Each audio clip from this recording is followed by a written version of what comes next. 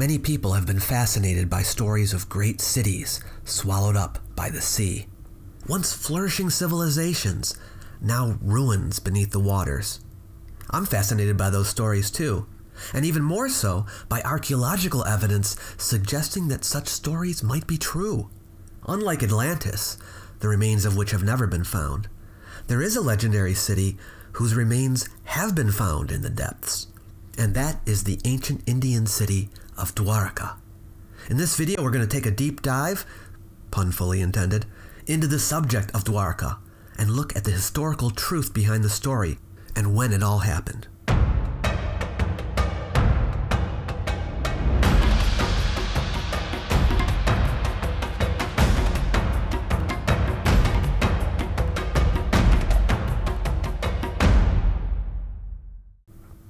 You may have heard about Dwarka on the internet somewhere. There are a number of videos on this mysterious ancient city, some of which make some astounding claims about it. We're going to look at one notable one in English from the Ancient Astronaut Archive channel called Dwarka Krishna's Lost City Discovered, which to date has garnered over 225,000 views. Those who know me may be surprised to find out that I'm not going to be arguing that Dwarka never existed and that the legend is a complete fiction. Oh no. I think it is very well possible that it existed. Just like Troy, the stories about which, although greatly embellished and full of fantasies, was found to have existed, so too Dwarka, the city that sank beneath the sea, I think could have existed. Let's listen in. I won't be watching the whole video with you, not all of it needs commentary. I will leave a link below though if you want to see the original. Until recently, the very existence of the city of Dwarka was relegated to the category of myth. Or legend, yes, that's true. But today, archaeologists and historians have not ruled out the possibility that the ancient city of Dwarka once existed and later was submerged beneath the sea. One prominent archaeologist even claimed to have discovered it. Um, I think we need to differentiate between the modern city of Dwarka, which exists today, and the ancient city, which doesn't. From what I've seen, the ancient city is generally spelled D V A R A K A, Dvaraka, and I think that's so we don't get the two confused. But ancient texts are not consistent on this, and sometimes you'll see it called Dvaravati. There are numerous legends about the city. The most prominent one is found in the ancient epic of the Mahabharata. It is well established that events described in the epic took place at around 3100 BCE. Dwarka is indeed mentioned in the Mahabharata, but the date that he puts on it, 3100 BCE, is not well established. Or maybe I should say it's not well established by archaeological or historical scholarship. The date he gives is the date of popular tradition, the legendary date of the famed Kurukshetra War, the main event of the Mahabharata. If you go and do some research, you'll find that the exact date of the war is disputed, and most scholars place it later in history than 3100, usually in the middle of the second millennium BCE, around 1500 BCE or so.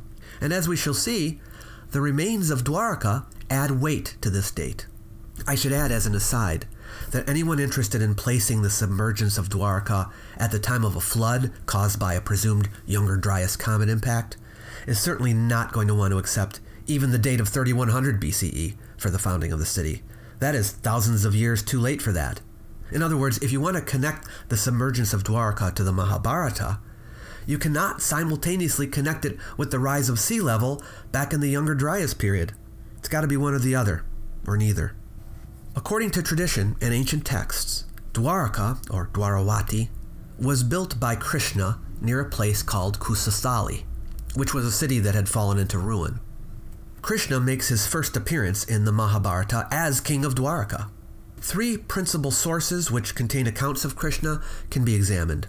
They are the Mahabharata, written between the 3rd century BCE and the 3rd century CE, or thereabouts, the Harivamsha, written somewhere between the 2nd century BCE and the 5th century CE, and the Puranas, written between the 3rd and 10th century CE. Dwarka also is mentioned in the early Tamil works, the hymns of the Alvars and the Nalayira Divya Prabandham, between the 4th and 9th century CE, and the Silappatikaram between the 5th and 6th century CE. Among all these sources, the Mahabharata is the earliest and is a text that contains what appears to be a great deal of historical information. The Harivamsha is an appendix to the Mahabharata, and the Puranas tend to be the accounts of traditions passed down from generation to generation. The Mahabharata gives many detailed descriptions of the ancient glorious city. Quote, the city was filled with the sounds of birds and bees flying about the parks and pleasure gardens, while its lakes, crowded with blooming lotuses, resounded with the calls of swans and cranes.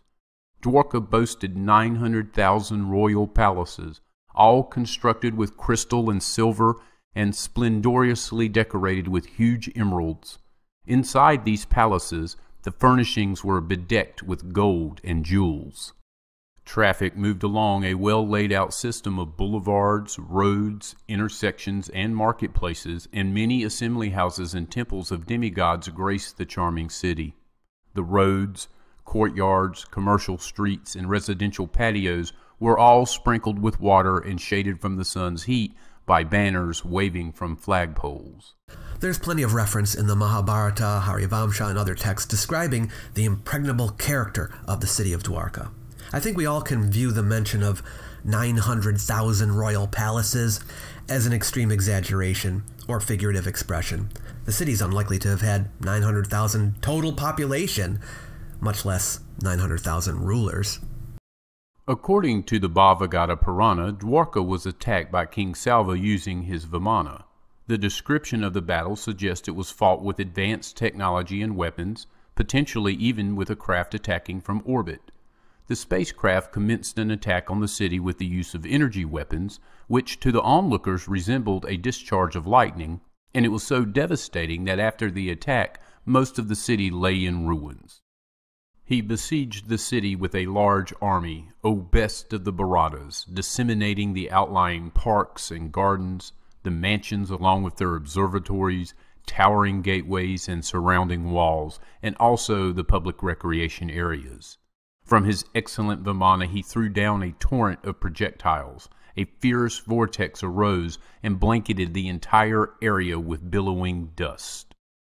Lord Krishna counterattacked and fired his weapons on the ship. They looked like arrows, yet they roared like thunder and shone like rays of the sun when released. This description sounds more like a modern day missile. Um, do I need to comment on this? This is just a matter of reading an ancient text as science fiction. The Bhagavata Purana doesn't say anything about spacecraft or energy weapons. That's just reading into the text something that isn't there. According to the Mahabharata, the city was flooded and submerged by the Arabian Sea. The sea, which has been beating against the shores, suddenly broke the boundary that was imposed on it by nature it rushed into the city, coursing through the beautiful city streets, and covered up everything in the city. I saw the beautiful buildings becoming submerged one by one. In a matter of a few moments, it was all over. The sea had now become as placid as a lake. There was no trace of the city. Dwarka was just a name, just a memory. The Vishnu Purana also mentions the submersion of Dwarka, stating, on the same day that Krishna departed from the earth, the powerful dark bodied Kali age, the age of vice, descended. The oceans rose and submerged the whole of Dwarka. It may be important to point out that, according to the story, the inhabitants of the city had plenty of time to get out. They walked out prior to the flooding, and all were saved. If you were to research the lost city of Dwarka nowadays, one of the first things you will notice on the internet is a great many articles and blogs that lead you to believe that this was a recent discovery. And in relative terms, one could make that assertion. However, the first excavations began nearly 100 years ago in the 1930s, around the island of Bet Dwarka, which is about 30 kilometers north of the modern day Dwarka. Yes, because there was and is a city of Dwarka currently in existence, in Okamandal, in the Jamnagar district, it had long been thought that the ancient city was somewhere in that area. Most ancient texts refer to ancient Dwarka being close to the sea, and the Puranas say that it hugged the west coast, where the Gomati River joins the sea. More excavations were conducted in the 1960s, but yielded no conclusive results. Yes, archaeologist Hasmukh Sankalia, with a team from Deccan College, excavated a trench not far away from Dwarkadish Temple in the city, and came to the conclusion that The foundation of the first Dwarka might be placed at a period just before or around the beginning of the Christian era, but not much earlier. There was more to be found, however.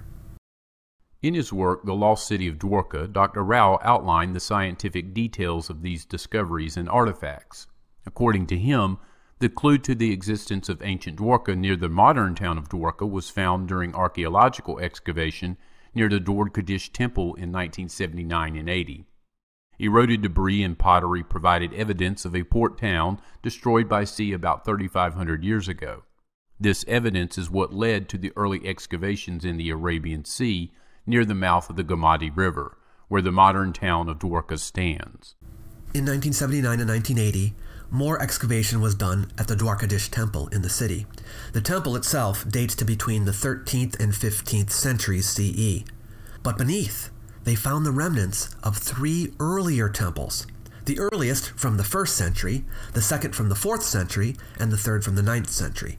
Further down, below the first temple, at around 10 meters deep, was a highly eroded deposit showing the existence of a settlement with what we call lustrous red ware pottery.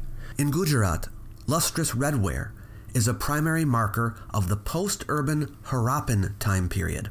Its date range is estimated to be between 1900 and 1400 BCE, based on radiocarbon determinations from nearby sites. And evidence indicated that the settlement at Dwarka that had this pottery was destroyed by the sea. After its destruction, there was a gap in occupation for about a thousand years.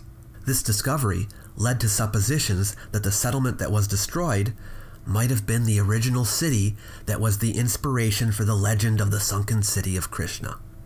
In the 1980s, Dr. S.R. Rao with the Marine Archaeology Unit of the National Institute of Oceanography undertook an extensive search of the city along the coast and finally succeeded in finding it off the Gujarat coast. Yes, the finds near Dwarkadish Temple motivated funding for additional archaeological work under the oversight of archaeologist Shikaripura Ranganatha Rao, who had done the excavation at the temple. The Indian Science Academy and the Department of Science and Technology funded the work of underwater exploration, with logistical support provided by the National Institute of Oceanography. Beginning in 1982, and based on promising data that had been collected, investigations began at the island of Bet Dwarka off the coast, also known as Shankodara. A survey of the coastline of the island at the southern part of the eastern shore revealed remnants of a massive rubble wall. The pottery collected from there was dated to 3,520 years before present by thermoluminescence dating indicating that the pottery came from the 16th century BCE. Traces of early settlement were also found in the central region on the eastern shore in the form of remnants of a massive rubble wall exposed during the low tide. Nine courses of masonry were found almost intact. To the south, two rock cut slipway like features were probably used for the launching of boats. A wall like structure submerged in the area further north in Balapur Bay was visible about a kilometer out to sea. These structural remains suggested the existence of an ancient port town, about four kilometers long and a half a kilometer to a kilometer wide, with three distinct sectors on the eastern coast of the island. Rao identified the island as Kusasthali, the place mentioned in the Mahabharata near where Krishna chose to build Dwarka. Artifacts Rao found there suggested that the site was first settled in the late Harappan period, around 1800 BCE. More recent thermoluminescence dating of the pottery on the island show continuous habitation from that time until the medieval period.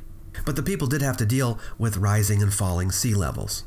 Between 1983 and 1990, the well fortified township of Dwarka was discovered, extending more than half a mile from the shore.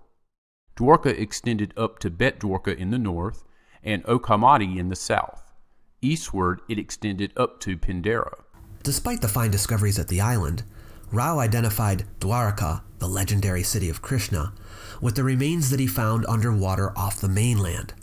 Marine exploration conducted between 1983 and 1994 showed the ruins of a port city that once stood at the mouth of the Gomati River. The submerged channel of the river could be traced to a distance of one and a half kilometers from the Samudra Narayana temple out to sea. It probably extended somewhat further. What the archaeological team discovered were inner and outer fortification walls with a gateway complex. An outer gateway leads to the open sea, and the inner one to the river Gomati. Remnants of a stone jetty were located too. The outer walls were constructed with large, dressed stone blocks. They remain in situ up to 1 to 2 meters in height. Smaller stones used for buildings were spread out due to the action of the waves and the current. Rectangular enclosures built of large dressed sandstone blocks were also found. These enclosures could have been part of port structures. Circular bastions were built around the corners to protect against the force of the sea. A large number of three holed triangular stone anchors lying on the seabed along these walls confirm that the harbor area was probably used for anchoring boats. Rao believed that these remains were from two different periods of time. The first period of habitation, he asserted, was relatively short 1500 to 1400 BCE, when the city of Dwarka was built during the second urbanization of India, the first being the urbanization of the Harappans. This would have been the time when the lustrous redware pottery found at, at Dwarka and below the temple at Dwarka would have been made. The structures of this period he identified with the ones that were in situ at about 6 meters below sea level. The three holed triangular stone anchors, he said, were similar to the ones used in the late Bronze Age sites of Kition and Syria in the 14th to 12th centuries BCE. Rao identified a second period of habitation between 100 BCE and 500 CE on the basis of red polished and associated wares, which were in situ at 2.82 meters below sea level. Artifacts from this period include iron anchors. The general layout of the city of Dwarka described in ancient text agrees with that of the submerged city discovered by the MAU. Dwarka was supposed to have been built on six blocks, two on the right bank and four on the left. All the six sectors have protective walls built of dressed stones of sandstone. Whatever has been traced so far conforms to the description of Dwarka in the Mahabharata to a large extent. But here's the problem. More recent work done in the area has called into question Rao's identification of the underwater remains as originating in the 16th century BCE. No significant amount of lustrous redware was located there, which would have served to confirm the dating, and the triangular stone anchors have been examined and determined to be from medieval times.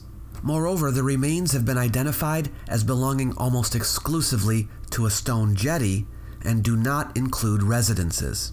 Yes, I found this a bit disappointing, but there it is.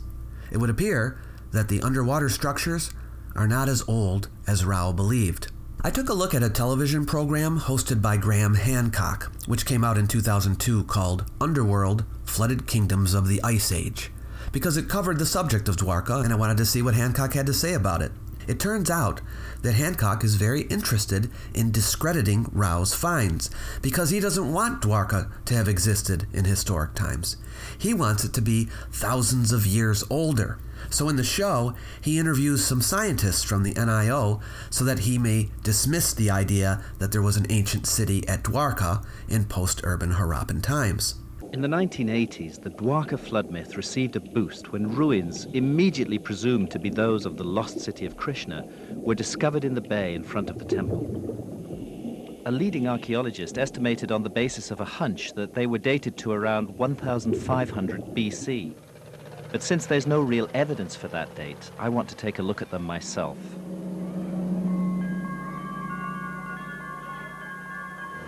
A group of marine archaeologists from India's National Institute of Oceanography have agreed to take me diving at Dwarka. This is Dwarka. Yeah. So we're moored over this concentration Yeah. of ruins. So are these mainly individual blocks or are they No, individual buoys which we tied for the particular structure. I see. Okay. So now the blocks are scattered. Yes. I'm working with marine archaeologists Sri Sundaresh and Dr. Gaur. There's no wall. What's hard looking at structures underwater is to be sure whether strange looking objects are just weird natural formations or whether they've been cut and shaped by man. It becomes clearer when you find clean cut individual blocks like these. The next question with any underwater site is how old is it? This site is so shallow and close to the shore that recent earthquakes could have submerged it, not necessarily rising sea levels at the end of the Ice Age. So it wasn't a big surprise to learn that Sundaresh and Gaur are now dismissing these finds that are merely hundreds of years old. This clearly can't be the ruins of the ancient mythical city of Dwarka. Stone anchors of a type made in India in the Middle Ages prove that the ships of that time once moored here. So anchors uh, precisely we are dating between 8th century AD to 14th century AD. Mm-hmm. So I think structure also may fall, may fall in that period. So we're talking actually about Yeah. a medieval yeah, site. medieval period. Do you accept the conventional dating of 1500 BC or so for this site, or do you think we should put a big question mark over that date? I think, you, it- I think you have answered the question. We should put a big question mark over Yeah, the I mean, we have not found any material evidence on which we can be sure about the date. Right. Uh, till we find uh, any datable uh, uh, material artifact, we'll have to continue our search as and when we can. Yeah. Notice how Hancock dismisses Rao's conclusions by saying they were based on a hunch, which is untrue. He centers attention on the underwater remains at the mouth of the Gomati River, but glosses over the fact that Rao had discovered remains, including lustrous redware, below the Dwarkadish temple, which itself is evidence for the existence of a settlement there in the post urban Harappan period. Now, yes, without the inclusion of the submerged structures, we can no longer say it was a city or had fortifications. I mean, it may have been, but there's still no evidence for that. But we can say that people lived here. There was an ancient settlement here, and it was destroyed by the sea. So, it would seem that the existence and the subsequent submergence of Dwarka is real and not fictional. If there is any historical truth to the tale about Krishna building the city, this would date Krishna, and therefore the Kurukshetra War, to the middle of the second millennium. BCE. In 2001, the students of the Institute of Oceanography Technology were commissioned by the Indian government to do a survey on pollution in the Gulf of Khambhat, seven miles from the shore. To be clear, the Gulf of Khambhat, formerly known as the Gulf of Cambay, is a few hundred kilometers distant from Dwarka. It's sometimes brought into the discussion because there are claims that another submerged settlement was found there. And since it's not that far away from Dwarka, the evidence it provides could have a bearing on the history of Dwarka. In December 2000, the National Institute of Ocean Technology, or NIOT for short, were performing a routine pollution study with sonar when they ran across what appeared to be regularly spaced geometric structures at a depth of about 30 to 40 meters. That's pretty deep. Comments were made at the time that they kind of resembled the ruins of Harappan cities, though initially nothing had been dated. S.R. Rao, who had worked on Dwarka, commented that the only conclusive way of establishing the antiquity of the site would be to study pieces of submerged pottery from the same area. During the survey, they found buildings made of stones covered in mud and sand covering five square miles. Divers collected blocks, samples, artifacts, and copper coins, which scientists believe is the evidence from an age that is about 3,600 years old. Such a date puts it squarely in the same time period as the earliest ruins of Dwarka. However, the remains found here were not like the remains found at Dwarka. There was no archaeological excavation, and the existence of buildings there has never been confirmed by any pair of human eyes. No photographs of the presumed buildings have ever been taken. All we have are sonar images. Sonar images are not like photographs, and a non expert like you or me might be fooled into interpreting an image as if it were a perspective snapshot as viewed from a particular vantage point. But the apparent shape of supposed objects in the image depends on the ship's speed, the lateral range of the sonar beam on each side, and the speed of the paper in the printer. As far as I know, none of that data was provided, so the shapes shown on the screen of the scans could very well be coincidental illusion. This may not be all that different from the face of Mars image that NASA took, which led to speculations about a civilization on the red planet. One thing that I've encountered many times in my studies of these subjects is how common it is for non specialists to confuse natural concretions with human made objects. From what I understand, although they had the GPS coordinates for where the original sonar survey was conducted, no one has been able to replicate their sonar images or find the structures they claim to have discovered. This was explained away as the result of shifting sand burying the structures. But it could equally be explained as the result of the random nature of the shapes in the images caused by glitches in sonar gear and software used to process the data. Some of the samples were sent to Manipur and Oxford universities for carbon dating, and the results created more suspicion since some of the objects were found to be 9,000 years old. He's referring to samples of carbonized wood. One was sent to two labs for carbon dating, uh, one in India and one in Germany. The calibrated age, as per the Indian lab, was 9,580 to 9,190 years before present. And as per the German lab, 9,545 to 9,490 years before present. Another sample of carbonized wood was sent to a different lab in India and came back with the date 8,450 years before present. But here's the thing the wood was not identifiable as a human made object, nor was it found in a human made structure. They were just pieces of wood. And since we know that long ago the area was above sea level and probably had trees growing on it, this is not a smoking gun for a human civilization that far back. The NIOT returned for further investigation in the Gulf from October 2002 to January 2003. During these excavations, the NIOT reported finding two paleo channels flanked by rectangular and square basement like features. Artifacts were recovered by means of dredging, including pottery shards, microliths, wattle and daub remains, and hearth materials.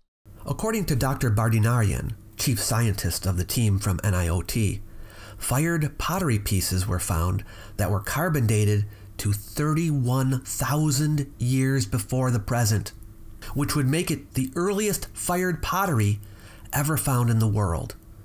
He wrote in an internet article that his discovery was more likely the real Dwarka and not the one found by S.R. Rao, saying, Probably the metropolis in the Gulf of Cambay could be the Dwarka city of Mahabharata fame.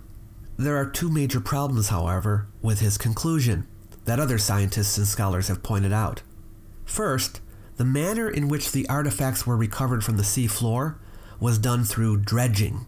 This method could easily allow errant artifacts to be collected, along with those that truly correlate with the site. Not to mention the fact that it makes analysis of the stratification of the site virtually impossible. The supposed artifacts recovered could have been carried there over the millennia with the tides and currents from other nearby places. There's no way of knowing whether these objects were buried in situ or eroded from coastal or fluvial deposits and transported elsewhere and reburied by tidal currents. Keep in mind, too, that extensive nautical traffic traversed the Gulf of Cambay over the millennia, and surely numerous vessels have sunk. As these ships disintegrated over time under the water, their contents would have released considerable numbers of artifacts of various types and time periods. Second, the NIO team has been accused of interpreting geofacts as artifacts. Dr. Neil Kenyon, a marine geologist, said, quote, The materials dredged up from the Cambay site and presented as human artifacts all appear to be well known natural geological features and fossils, familiar to any sedimentary geologist who has worked in the Indian Ocean, Arabian Sea, or Arabian Gulf region. Unquote. Marine geoarchaeologist Dr. Nicholas Fleming said, quote, my immediate impression was that these objects are mostly natural rolled pebbles, concretions, and other normal seabed phenomena. If I had found material like this on the seafloor, I would not have expected the public to believe that they are artifacts. Unquote. In the Graham Hancock documentary I referenced earlier, Hancock is far more interested in the Gulf of Khambhat finds than in the ruins found at Dwarka because he wants to find something from the Ice Age. Their sonar readings show evidence for two huge cities 120 feet underwater. And a sample they've collected from the seabed has been carbon dated to the end of the Ice Age. The NIOT experts aren't archaeologists. They were doing pollution studies in the Gulf. But what they found is of massive archaeological significance. Could these flooded cities be the proof I've been looking for which joins the Indian flood myth to archaeology? Initially, when we went, we thought probably we'll be on a early Harappan site, but after seeing all the artifacts and evidences what we have collected, it looks that they are before the Harappan uh, period. Which means, in the end, that history is going to have to be looked at again. Definitely, maybe this is the beginning of a major uh, discovery for uh, the world. I think so. I think so. It's the scale of the sites which is so exciting. It looks like a twin city or a twin metropolis of Right. ancient times. Right. Uh, can have a look here. This is a treasure trove.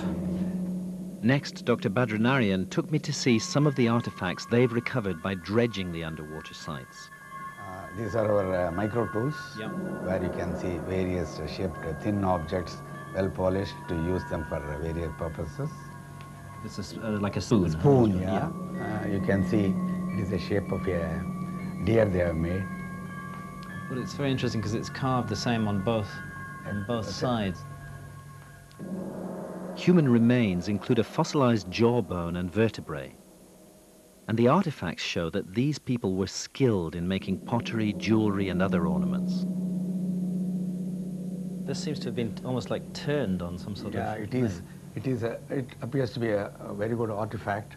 Probably they had a sort of hand uh, instrument to turn all these things. If you see, there's the hole also they have made through that. And, and this hole runs all the way through it. Yeah, completely. Yeah. So this is absolutely definitively a man-made. man-made object. Yeah, we did not know what it was. Most startling of all, a stone slab was discovered with raised markings which could push back the date of the invention of writing to the end of the Ice Age. He makes much out of the so called artifacts that the NIO team dredged up. But even to my untrained eye, these do not look like objects made by humans to me. What do you think? Let me know your assessment in the comments. As far as I'm aware, nothing has been published in any scientific literature about these artifacts. The only place you can find the images or any discussion is on the internet, in popular books, or on popular TV shows. In my opinion, there is no there there. The archaeological remains near modern Dwarka seem to me to be the most likely candidate for the ancient city of Dwarka mentioned in the Mahabharata. In January 2007, the Underwater Archaeology Wing of the Archaeological Survey of India began excavations at Dwarka yet again. But the work on further excavation has met a formidable roadblock in the form of academic indifference and government apathy. It seems India's central government no longer has much interest in the excavations at Dwarka or the one at the Gulf of Cambay. Well, I can understand why they don't want to spend more money on the Cambay site, which at this point seems to have been a sonar mirage. But work on Dwarka and on many sites on the Gujarat coast has continued until the present day. If not always actual excavation, then survey or lab work.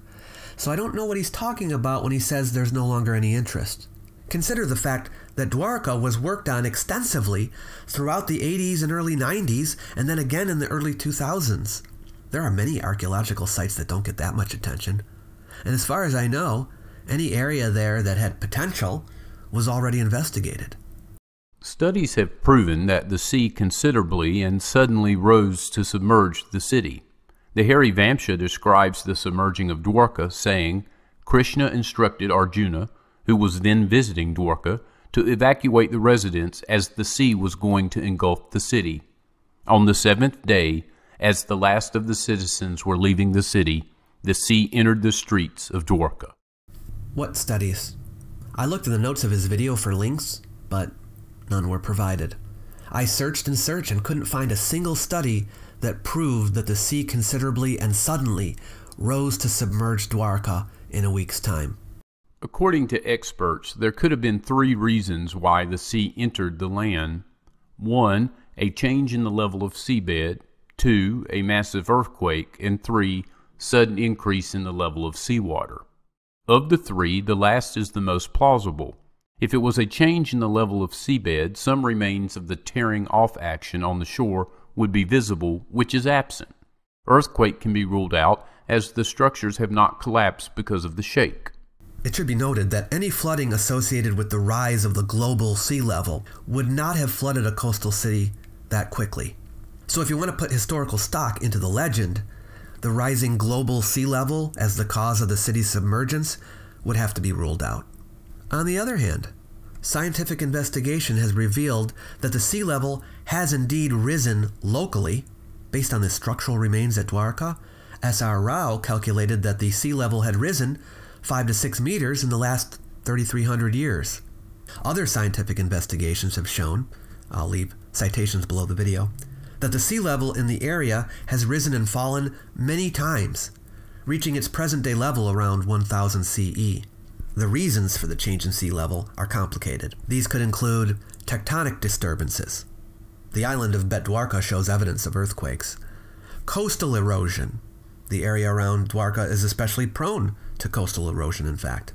And other factors. Any or all of these could have affected human habitation. We don't have to conclude that the city was destroyed in a flood suddenly. It may have been abandoned when the sea began to encroach, and then flooding continued in the years after abandonment. The third reason seems most plausible as a similar phenomenon had occurred on the shores of Bahrain around the same time as some recent findings indicate. It is to be noted here that considerable work has been done onshore and offshore in Bahrain, which has indicated trade and other relations between the western coast of India and the coast of present day Bahrain. There was flooding of the coast of Bahrain around 3500 BCE, but this wasn't at the time that trade was being conducted with India.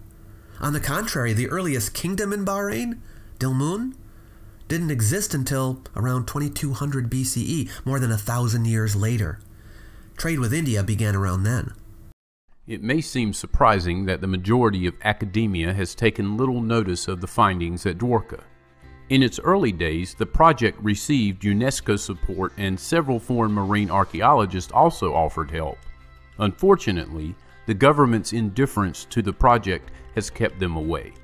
But when you consider that this discovery threatens to upend academia's current historical timeline and paradigm, it really is not all that surprising they would choose to ignore it and continue disseminating their own fiction. Where he's getting this from, I don't know. There's plenty of academic literature about Dwarka, which I used to research this video, and which are readily accessible. Nothing is being kept under wraps, and the discoveries more or less fit right into India's historical timeline. If they didn't, the timeline would naturally be revised, as it often is in archaeology. Anyway, I hope you found something valuable in this video. If you did, give it a thumbs up. I hope you'll stick around and check out some other vids. I'll catch you next time. You might like my little e booklet, Why Ancient History Matters. It's designed to persuade people that the subject is important, even in the modern world. You might also wish to use it to help spread the word. So feel free to share it with someone you know. It's free for anyone who wants it. I've left a link in the description box below the video for you to grab a copy. Catch you later.